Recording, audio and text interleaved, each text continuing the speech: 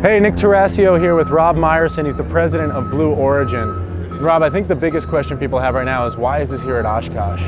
Well, we brought our rocket here, our New Shepard rocket here to Oshkosh because this is the largest air show in the world and there's, there's more than a half million people here today or this week and we're just excited to be here to, to show off the, the first reusable rocket uh, and uh, a, a technology that we think is going to enable this future where millions of people are living and working in space. Uh, now people, millions of people are flying airplanes and we want millions of people to fly on rockets. What caused this massive explosion of awareness around what you're doing? Is it, is it the fact that you were able to actually re-land the rocket? Is that why you think all the eyeballs started paying attention? Yeah, we, we were pretty quiet before we uh, um, you know, achieved that, that goal. It's a goal we've been working on for many years. We had two iterations of this rocket design before we came upon this, this particular design that's behind me.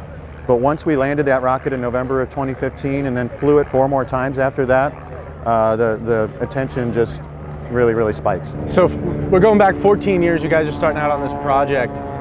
Were there any moments where you said, this is never gonna work?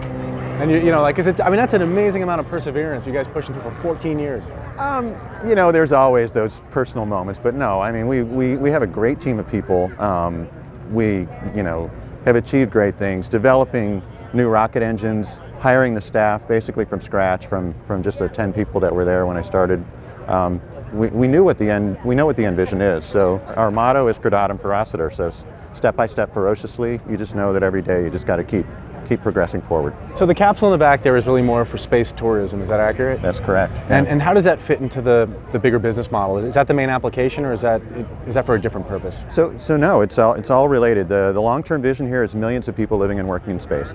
And to date, only about 550 people have actually flown into space and experienced it. So New Shepard is designed to provide at a reasonable cost uh, the opportunity for people to experience flying above the Kármán line, which is uh, 100 kilometers above the Earth, experience weightlessness and, and, get that sense of what space is like.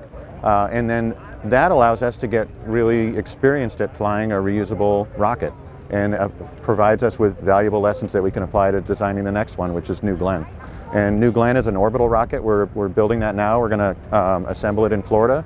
And um, We'll fly that in 2020. That, that will take people and, and satellites up to low Earth orbit. Is there a particular moment in the future you look forward to that's kind of your burning why or your burning passion for doing this? Flying New Glenn, definitely. Uh, you know, I want to fly on New Shepard, um, and but flying New Glenn in 2020, uh, it's a it's a big rocket designed from the start to be reusable, um, and uh, it's going to be a real game changer for the industry. So really excited about that. What's the experience going to be like for uh, some of the early tourists that are going to be going up in the capsule? Our flights are going to be from uh, far west Texas near Van Horn, which is two hours east of El Paso. Our guests will arrive about two days before launch. Uh, they'll do a full day of uh, training, which really will cover um, uh, going through what the systems are, how the rocket flies. They'll have a nice dinner the next morning. They'll go and fly. The uh, um, as we fly, you know, more and more people will learn more and more about how they how that experience is and will evolve that experience. So un unlike the space program where you needed these kind of perfect athletes in many ways, mm -hmm. will it not be restricted?